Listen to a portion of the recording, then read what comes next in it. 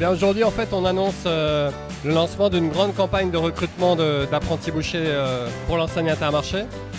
Grande campagne euh, qui a pour objectif sur les trois prochaines années de recruter 650 apprentis bouchers dans nos points de vente partout en France. Concrètement, ça va se matérialiser par la mise en place de trois gros axes de communication. Un premier qui va se passer dans notre réseau et dans le réseau de Pôle emploi partout en France avec une campagne de communication sur ce recrutement, sur le métier de boucher. Deuxième axe, le Tour de France des CFA. On a déjà initié des partenariats avec les CFA et l'objectif c'est de le faire partout en France pour, avec les CFA, venir ajouter des apprentis bouchers dans leur cursus de formation qui seront derrière directement intégrés dans nos intermarchés. Troisième axe de communication, c'est la Boucherie Academy. Donc on est en partenariat avec l'interprofession, Interbev, et avec euh, plus de 500 boucheries artisanales. Euh, plus de 400 points de vente intermarchés se sont initiés dans la démarche. L'objectif, c'est de rendre accessible nos équipes boucheries pour expliquer ce métier à, tous les jeunes qui peuvent être intéressés et qui puissent s'adresser directement à des professionnels directement dans les points de vente, que ce soit dans les supermarchés, intermarchés ou que ce soit dans les boucheries artisanales. Une table ronde consacrée à la formation des bouchers. Le rayon boucherie, c'est un rayon star. C'est pour ça qu'on va prendre un peu la parole sur le rayon en mettant en avant nos bouchers, nos apprentis, en disant voilà qui sont les stars de nos magasins. Aujourd'hui, c'est un rayon qu'on privilégie en termes de formation, en termes de positionnement prix et en termes de qualité produit. Avec un seul objectif, rompre la problématique de la pénurie sur ce métier de la boucherie.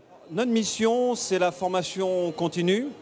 Nous intervenons euh, chez les clients pour euh, accompagner donc, ces équipes boucheries. Euh, un maître d'apprentissage va suivre, s'occuper d'un jeune durant tout le temps de cet apprentissage. globalement, c'est au minimum deux années. Et il va accompagner, former cet apprenti-là. Comment vivez-vous votre apprentissage? Comment ça se passe au quotidien? Bah, ça se passe plutôt bien parce qu'on a une bonne entente après entre le patron et, l'apprenti. Euh, il y a beaucoup de contacts aussi. L'apprentissage, c'est aussi apprendre la vie.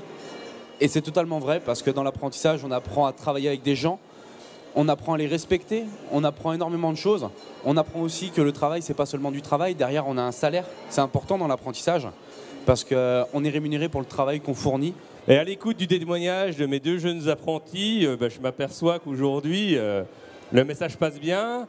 On a des jeunes qui sont motivés. Moi, je les trouve motivants.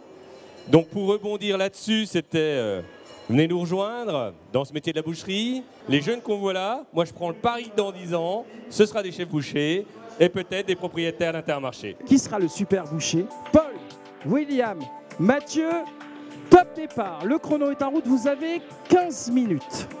15 minutes pour réaliser le meilleur travail.